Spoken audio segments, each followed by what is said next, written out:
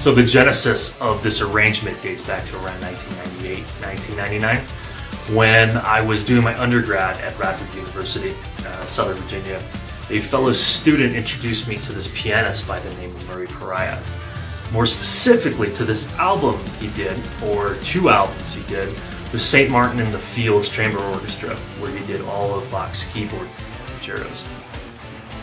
And this was the first piece I ever heard. This Allegro was the, the very first piece I heard from Murray Perahia, and uh, I was hooked.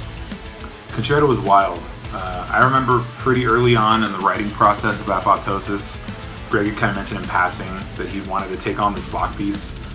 And I remember thinking it was like really ambitious, but at the same time I kind of like treated it almost like a super dense like work project or school project where I, I'm just going to deal with that when it comes in because I was already prepared for the work that was going to come in and make it happen.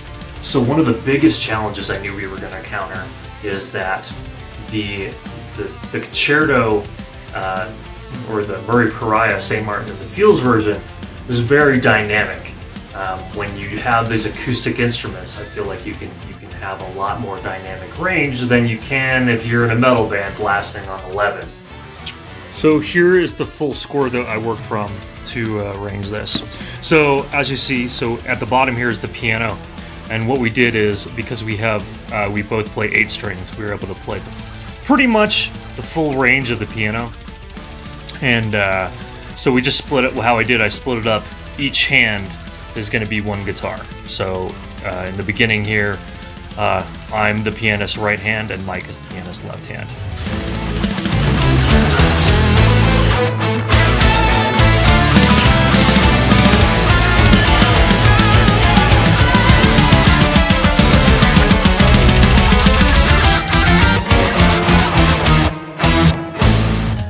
So when we had instances where it was just like one little piano, when the piano is playing really quietly with just one string section, um, I made the creative, you know, artistic kind of decision to make those classical guitar duets. So we could thin everything out, we could bring everything down. Um, fortunately, Christina Sandsengen was coming in to do the colors of the currents with me, so it was the perfect chance to enlist her uh, to help me out with the Bach as well. For me, it was such an honor to be part of this project, uh, to get to play music by one of my favorite composers of all times on classical guitar uh, with Allegaeon. Very special and such an honor. And um, Greg, uh, to play with him was uh, so much fun. Um, he's a great musician, great classical guitarist, and producer Dave Otero, uh, one of the best producers I've ever worked with. So um, yeah, just very happy and grateful to be part of this.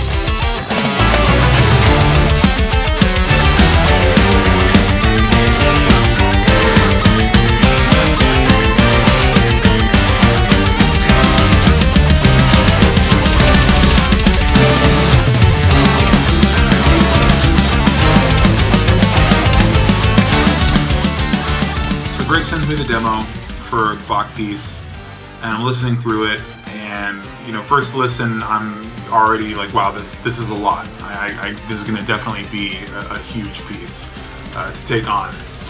And I remember trying to find like common elements, like trying to find any kind of like repetition, anything that I could like hold on to that'll give me some kind of because you know most classical music is written thematically, but it, it's very linear. So you're going from movement to movement to movement, and that was more or less how it was with this piece. Except after doing like a deep dive into it, you realize the themes, a lot of the themes that reoccur in the song are actually played in different keys. So the whole thing was a little bit more in depth than I was expecting, I think. Um, and I was expecting a lot.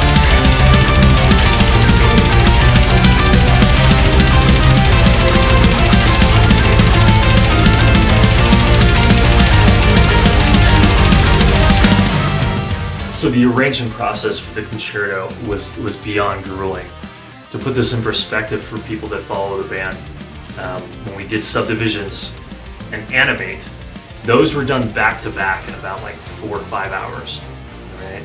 When we did roundabout, that was about a week. a little less than a week to do.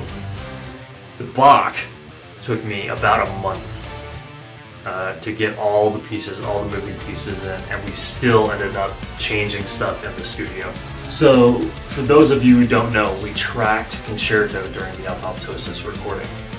Um, this was the very first song that I tracked when I came into the studio. Sick as a dog, first couple days when I came in and knocked it out of the park. And this was my first day in, and it took me 10 hours to retract this. So I hit the studio, it's my turn, uh, and I remember wanting to knock this song out like first, right out the gate. I, I just didn't want this like a monumental, you know, piece of music obligation, what have you, like looming over the whole session because, you know, it was obviously a big challenge and everything had to be just right. And I just I wanted to get it out of the way, right, right out the gate. So we started with that track, first one that I did. I had my, my notebook with all my sheet music and all my notes and everything ready to go. And basically, we just dove headfirst. And uh, basically, we got through the whole song. And uh, once the thing was completed, and, and, it took most of the day, and it took most of the session for sure. But once it was completed, it was just one of those, you know, I mean, I was relieved in one sense of it, but then, you know, I think any artist, when they, you know, spend a lot of time on something and they finally see their contribution, uh, kind of their their portion completed the song, and then eventually the entire song being completed. It was just like a nice sense of satisfaction, like, whoa, I, I did this. This is something originally that, you know, I had seen as a massive undertaking, or I had seen it as a, uh, you know, a huge project or something that was going to be really daunting and stressful, and am I going to be able to meet the uh, expectation on this? And to see it come together was was brilliant.